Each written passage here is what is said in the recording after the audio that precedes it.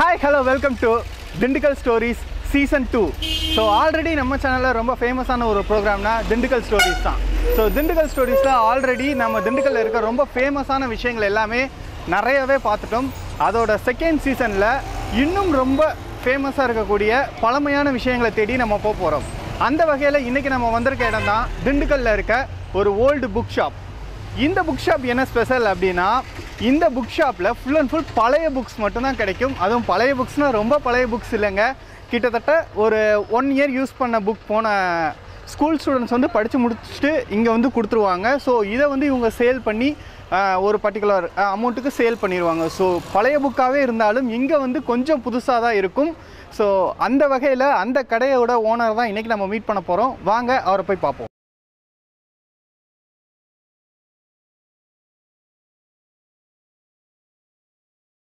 So நம்ம ஐயா தாங்க இந்த கடையோட ஓனர் ஸோ இவரை பற்றி நிறைய இன்ட்ரெஸ்டிங்கான விஷயங்கள் நம்ம பார்ப்போம். வாங்க.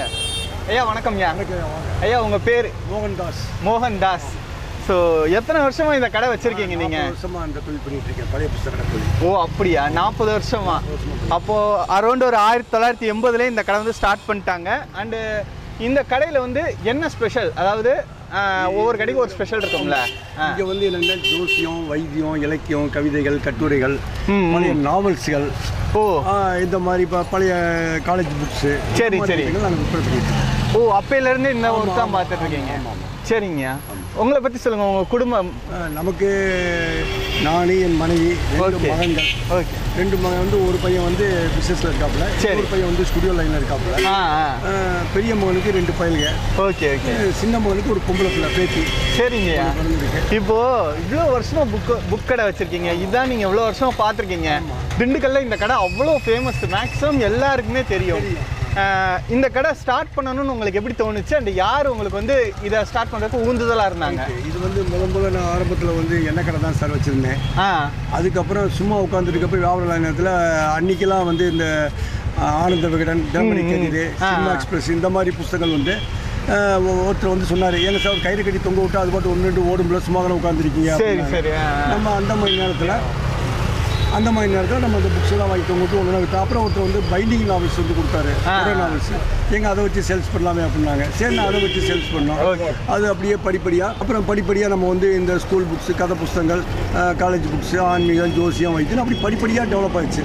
Okay okay. ஆமாம் இது வந்து ஆரம்பத்தில் வந்து நம்ம வந்து இதை வைக்கணுங்கிற எண்ணம் இல்லை. வேறு மாதிரி மூடில் இருந்தோம்.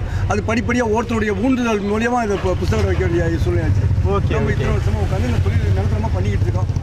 ஆண்டு முடியத்தில் சரிங்கய்யா. நீங்கள் இந்த புக்ஸ் எல்லாம் விற்கிறீங்களே இந்த புக்ஸ் எல்லாம் எங்கே கலெக்ட் பண்ணுவீங்க? உங்களுக்கு எப்படி. கிடைக்கும்? இது வந்து நம்ம பழைய பேப்பர் வியாபாரி போடுறது படித்தவங்க கொண்டு கொடுக்கறது. வீட்டிலேருந்து கொண்டு கொடுக்கறது பழைய பழைய இடங்கள் மதுரை திருச்சி போகணும் அங்கேருந்து வாங்கி கொண்டு பண்ணிட்டு நிறையா வாங்குறது. நிறையா வாங்கிட்டு இருப்பீங்க.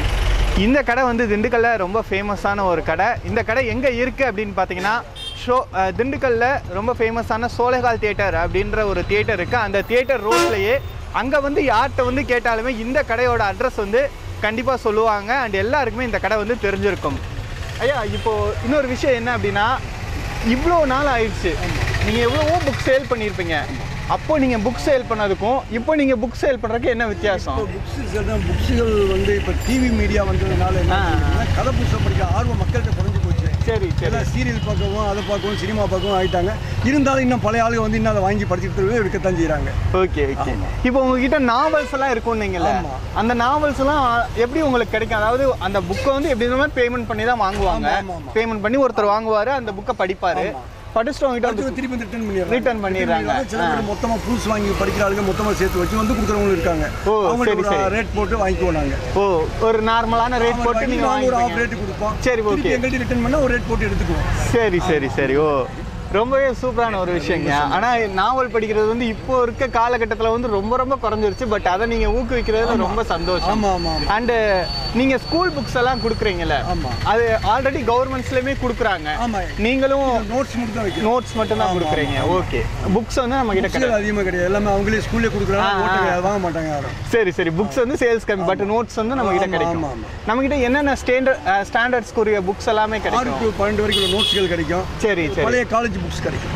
சரி நாவல்ஸ்ன்னீங்கல்ல ஏன்னா நாவல்ஸ் வந்து இப்போதைக்கு வந்து நம்ம மக்களால் வாங்கி படிக்கிறது வந்து ரொம்ப கஷ்டம். ஆமாம் ஸோ நாவல்ஸ் வந்து இப்போ உங்ககிட்ட என்ன மாதிரி நாவல்ஸ் கிடைக்கும்? அண்டு எதை நம்பி உங்ககிட்ட வரலாம்? நாவல்ஸ் இப்போ கம்பெனி புஸ்தகங்கள் ஒன்று இருக்குது இந்த பதிப்பகத்துலேருந்து ஆமா, ஆமா. அந்த மாதிரி புத்தகங்கள் இருக்கு.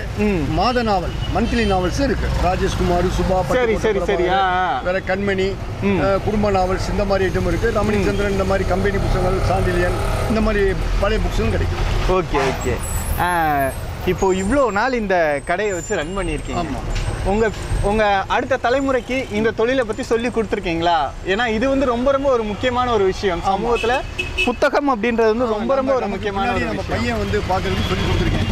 சொல்லி கொடுத்துருக்கீங்க. ஆமா நமக்கு பின்னாடி அவன் அதை பார்க்கறதுக்கு ரெடியா இருக்கான். ஏன்னா திண்டுக்கல்ல முக்காவாசி எல்லாருமே இந்த கடை வந்து தெரிஞ்ச கடை தான். ஏன்னா அவங்க திடீர்னு இப்போ அந்த கடை வந்து இல்லைன்ற பட்சத்துல வந்து. ரொம்ப வந்து கஷ்டம் அவங்களுக்கு. அப்செட் ஆயிடுவாங்க ஆமா, ஆமா. அதனால பையனுக்கு அதை சொல்லி கொடுத்துருக்கேன். சொல்லி கொடுத்துருக்கீங்க. தொழில விடாம செய்வோம்.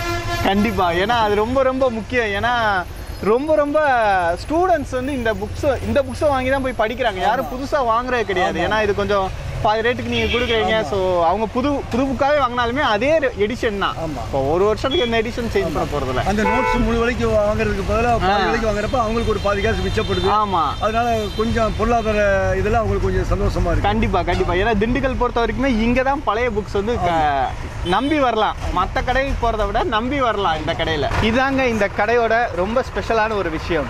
எல்லாரோட வாழ்க்கையிலுமே புக்ஸ்ன்றது ரொம்ப ரொம்ப ஒரு இம்பார்ட்டண்டான ஒரு விஷயம். அந்த புக்ஸை வந்து பார்க்காம யாருமே வந்திருக்க மாட்டாங்க. அவங்க ஸ்கூல் ஆகட்டும் காலேஜ் ஆகட்டும் எல்லாரோட லைஃப்லையுமே புக்ஸுன்றது ஒரு இம்பார்ட்டண்டான ஒரு விஷயமா இருக்குது ஆனால் ஒரு குறிப்பிட்ட வயசுக்கு அப்புறம் புக்ஸ் படிக்கிறத வந்து எல்லாருமே ஸ்டாப் பண்ணிடுறீங்க ஸோ அது ரொம்ப ரொம்ப ஒரு கஷ்டமான ஒரு விஷயம். எ முடிஞ்சளவு ஒரு சின்ன சின்ன கதை புக்ஸாவது படிங்க. இல்லை மாத நாவல்ஸாச்சும் படிங்க.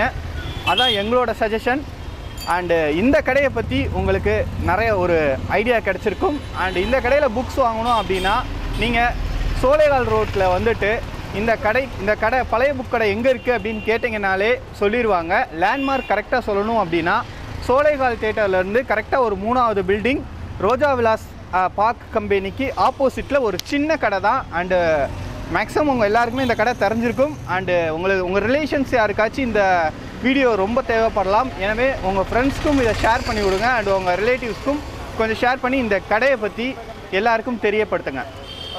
ஐயா இவ்வளோ நே இவ்வளோ நேரம் நீங்கள் காத்திருந்து எங்களுக்கு இன்டர்வியூ கொடுத்ததுக்கு ரொம்ப ரொம்ப நன்றிங்க. ஏன்னா நீங்கள் பண்ணுறது வந்து அவ்வளோ சாதாரணமான விஷயம் கிடையாது. இதை கண்டிப்பாக அடுத்த தலைமுறைகளுக்கு சொல்லி கொடுத்துட்டு போங்க. அவசியம் செய்வோம். சரிங்களா? ரொம்ப நன்றிங்க ரொம்ப நன்றிங்க.